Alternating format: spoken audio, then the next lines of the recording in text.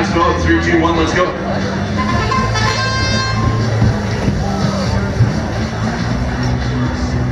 That was scary. I think I was a little too close to that.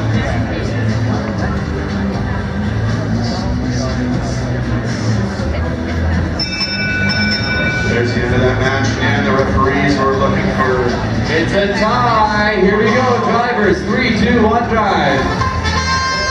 Wowies out.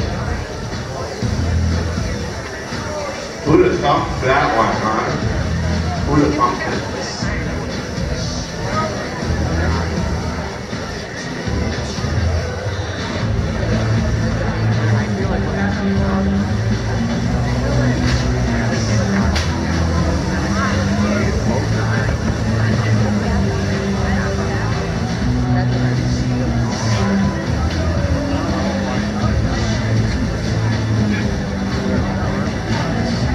Thing that uh, a lot of the spectators might not know is that some robots can actually, well, it's, it's open to any robot actually, but the, in some of these cases, some of these robots are made with either steel parts or aluminum parts, and aluminum parts weigh a lot less.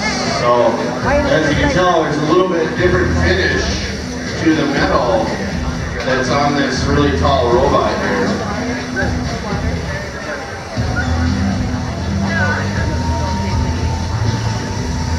Look how fast you can run, 70 inches tall.